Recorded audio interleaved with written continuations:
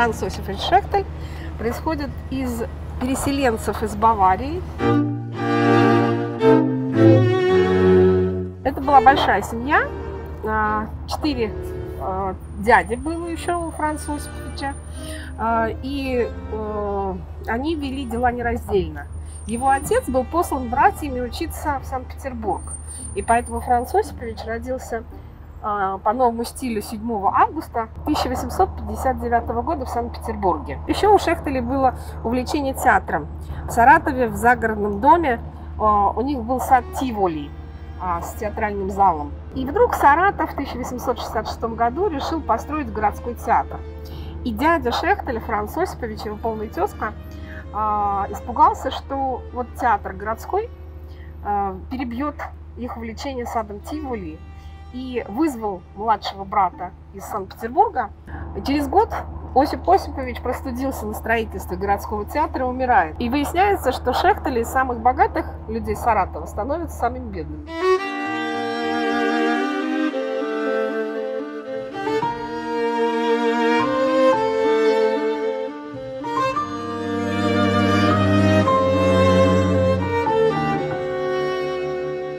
Тимофей Ефимович Жегин оплатил учебу Франца Осиповича Шехтеля в Саратовской гимназии. В 1873 году Тимофей Ефимович скончался неожиданно. Францу Осиповичу пришлось учиться в духовной семинарии. А в 1975 году он его заканчивает и переезжает в Москву и попадает в семью Третьяковых. А в семье Третьяковых зятем их был Александр Степанович Каминский. Каминский берет его к себе и устраивает учиться в училище жив в своей низочество. Вместе с Чеховым, Николаем Павловичем вместе с Левитаном и в мастерской Дмитрия Николаевича Чичагова, представителя знаменитой династии. И у Чичагова он тоже подрабатывает. И так он учится там всего два года. А, через два года он начинает прогуливать занятия, потому что мама сильно больна, ее рассчитали у Третьяковых. И первую часть своей жизни, вот с 78 а, по конец 80-х годов, он художник-декоратор, художник-иллюстратор. Звездный час его начинается, наверное, даже в коронацию. 1881 год. Александр Степанович Каминский, у него несколько э, было аварий на стройке. Он начинает э, получать всякие претензии, у него на время забирают право производства работы, и он начинает Шехтелю передавать своих заказчиков. И первый заказ, который сделал Шехтель, очень крупный, это усадьба Кирицы фон Дервиза э, для, э, для фон Дервиза в Рязанской губернии.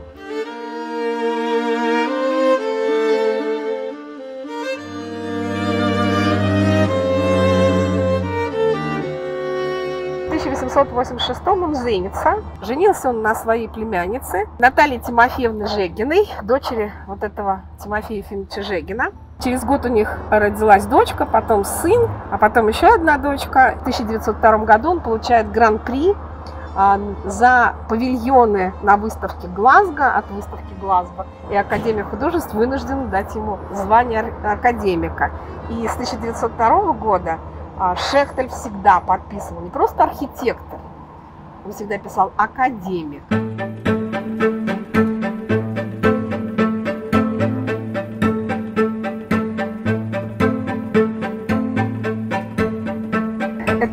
Первый дом, а, такой в стиле историзма, но с элементами стиля модерн. Это был самое дешевое место в Москве.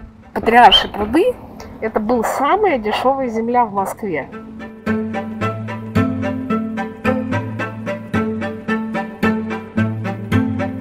Центром этого дома был зал с камином. Большое окно на фасаде – это его мастерская.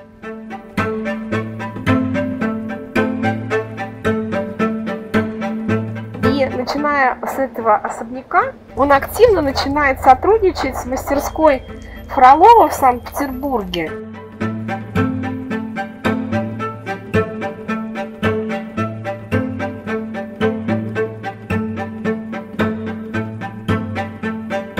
А в 1904 году он дом расстроил, с ним начал жить племянник еще один, еще и племянница. Жегины сюда переехали с Саратова.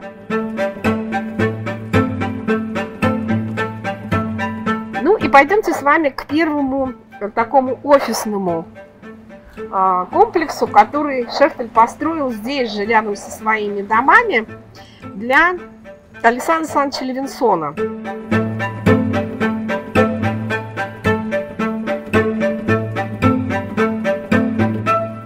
В 1900 году Шехтель здесь строит комплекс издательства и типографии товарищества печати Левинсон.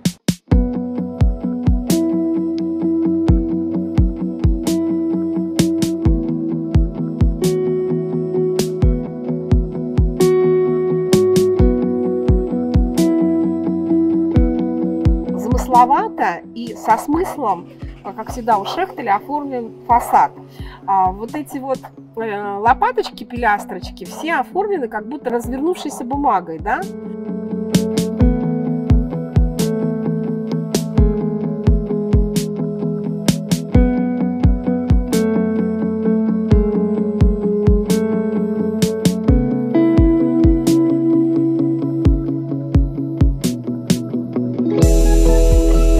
Работа реставраторов Коневых, которые просто очистили все абсолютно до чиста, до а, основного кирпича и заново все сделали.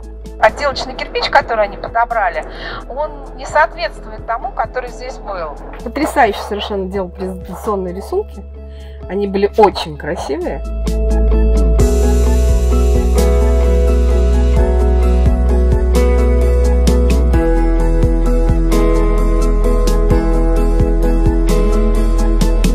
Производственный корпус э, соединялся с редакционным э, корпусом через этот донжон. Огромные цеха и поддерживались все вот такими чугунными, красивыми очень колоннами, которые там внутри сохранились.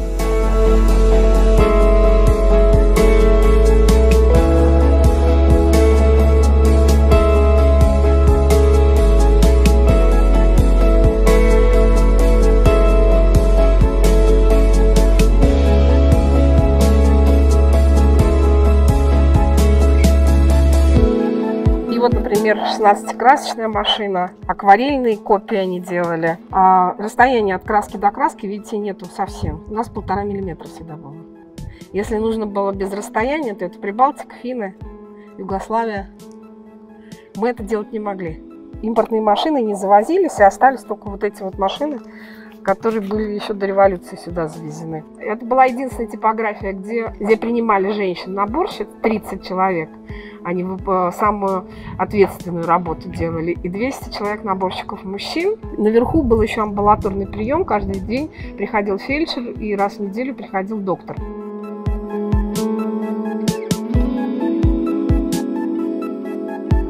Здесь до 18 века были сплошные болота. А был сделан один пруд э, попытки осушить облагородить. Здесь пасли козы, это Патриарш Слобода, где выращивали овощи, патриаршему столу, и козы паслись. Поэтому козье болото, как называли эти места, отсюда вытекало очень много московских речек, поэтому здесь внутри, под землей, а, текут речка Севец, э, Черторы, да, и многие-многие-многие. Их начали заключать трубу только в 1870-е годы. Ну и мы пришли с вами к шедевру Шехтеля, особняк Савы Тимофеевича Морозова. Говорят, Сава потратил на него миллион рублей.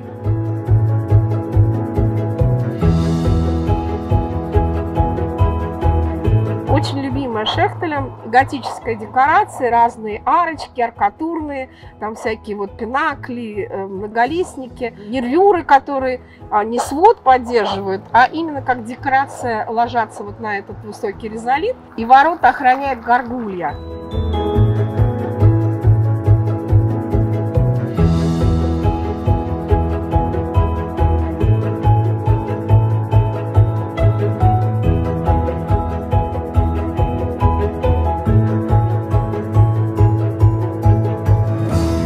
Особняк Зинаида Григорьевна продала э, в 1909 году всего за 380 тысяч.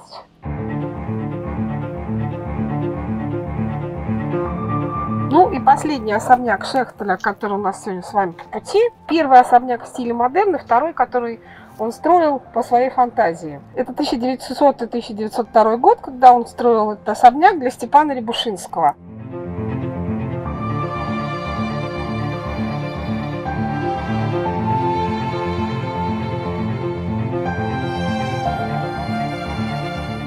Было куплено несколько участков, и этот особняк э, должен стоять без зелени. Вот московская зелень – это зло.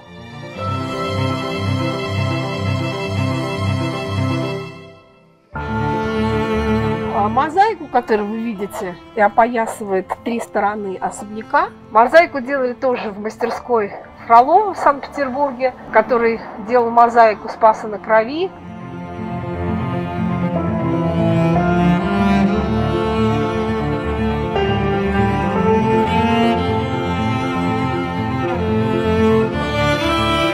Очень красивый кабинет. Видите, тоже вот это окно кабинета сделано как панцирь черепахи.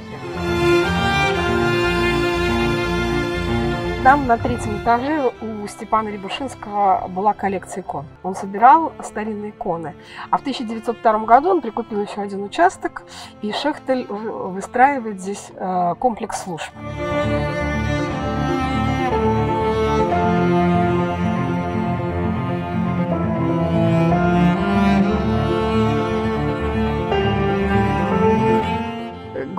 Гослитиздат тут был, пока в 1934 году сюда не поселили Горького. И семья Горького здесь жила до 1976 года.